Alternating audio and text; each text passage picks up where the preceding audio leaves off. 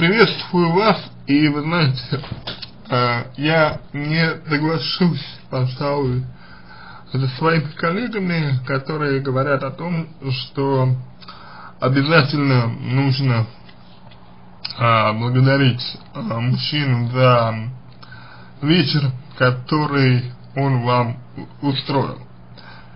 Дело в том, что многие мужчины, ну уж по крайней мере какая-то их часть, э, вежливость воспринимает как, э, знаете, дистанцию. То есть вежливость это означает невидимая стена. То есть когда человек вежлив, он не пускает другого э, к себе ближе, не подпускает его, и мужчина э, при определенных обстоятельствах может э, такую вашу вежливость воспринимать как, э, знаете, как что-то негативное. То есть ему будет неприятно, что вы отдаете предпочтение такой вот формальности. Ему будет неприятно, что вы предпочитаете благодарить человека, предпочитаете выражать благодарность, хотя он может хотеть от вас чего-то другого, например, поцелуя, например, э, там, чего-либо еще и так далее.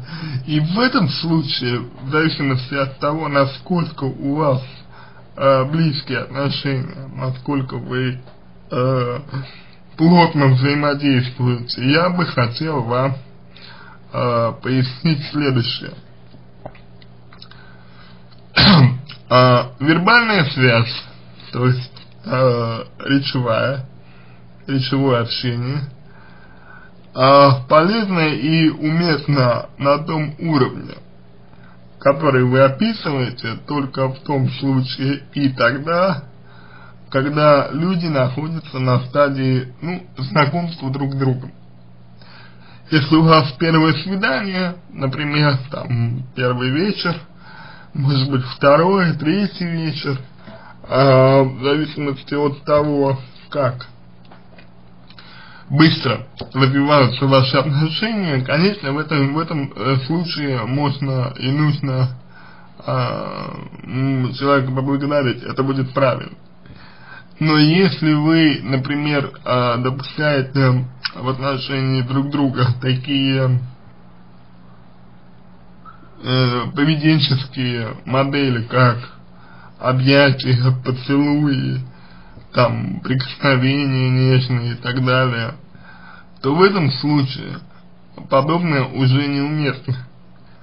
В этом случае данное проявление вежливости, данное проявление этикета является неправильным, потому что а, мужчину это, как я уже говорил, обижает. В этом случае, если вы хотите поблагодарить человека за то, что он для вас сделал, нужно, желательно выразить это как-то иначе. То есть, благодарность можно выразить, например, именно после того, как вечер закончился, да, э, подойдите к нему, э, страстно обнимите его, прижмитесь к нему и поцелуйте.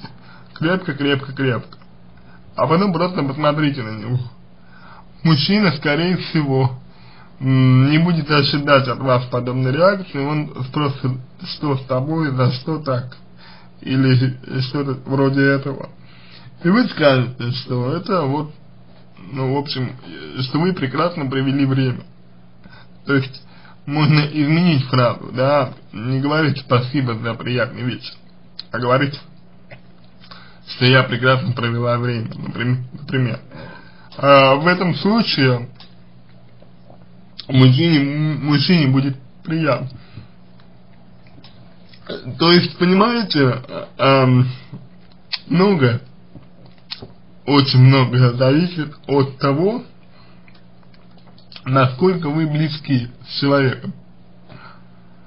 Если вы с человеком близки э, на достаточно ну, коротком расстоянии, то это, это уже будет лично.